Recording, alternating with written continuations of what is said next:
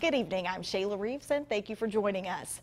Tonight, the Pirates will open the NCAA tournament play against UNCW. This year marks the 24th time that the Pirates have made an NCAA regional. WNCT's Ken Watling joins us now from Clark LeClair Stadium. Ken, it's an exciting night for baseball.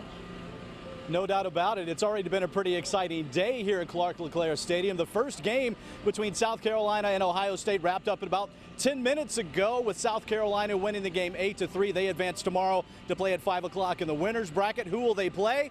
It'll be the winner of tonight's nightcap between UNCW and ECU. It'll be the third meeting of the season between these two long-standing rivals. The Pirates winning both games, both of those games pretty close, 6 to 4 here in Greenville, 5 to 4 down in Wilmington. It's going to be a sold-out stadium at Clark LeClair. The fans on the other side of the fence here inside the jungle, tailgating, a lot of grills fired up. You see the pop-up tents all over the place. If you could see the traffic on Charles Boulevard right now, you'd probably want to stay away unless you're trying to get out here to the game because it is going to be a busy place tonight. ECU, UNCW for a third time. Actually, the first time, though, they've met in the NCAA tournament since 2004. The Pirates winning that game in a regional championship played in Kinston. Looking forward to the game tonight. Brian Bailey and Zach Maskovich will have more coverage coming up at about 620. But first, we're going to go to the other side of the stadium. Our team coverage continuing with WNCT's Dominique Moody. He's got more on what it's been like this week leading up to the big game. Dominique.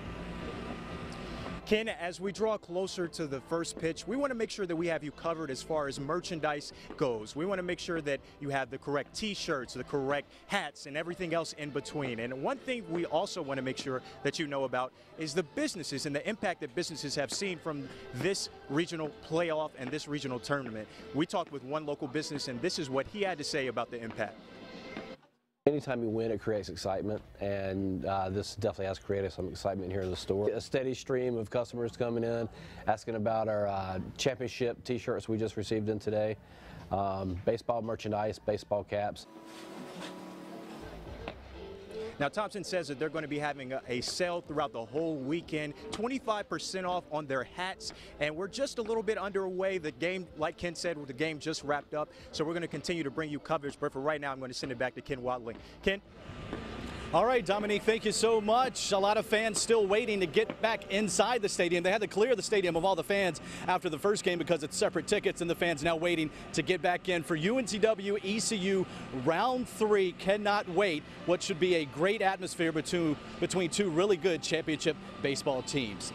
Brian Bailey and Zach Maskovich will be back here with a little bit more coverage coming up during sports. But for now, let's go back to the studio for the rest of today's news.